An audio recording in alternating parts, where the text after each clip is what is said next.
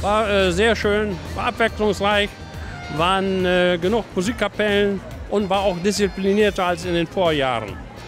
Nicht so viel Sauftrupps dazwischen. Gut, es war wie jedes Jahr immer toll. Es ist immer wieder tolle Stimmung, es macht immer wieder Spaß. Ich bin einfach immer nur begeistert, dass sich so viele Leute dafür engagieren können, einen Wagen aufzubauen mit den Bedingungen auch, die die Stadt vorgibt und immer noch wieder ein bisschen Spaß zu haben bei der Sache. Das Highlight war äh, einmal die Kosakenhochzeit und Theresa May und Prinz Philipp und die Queen.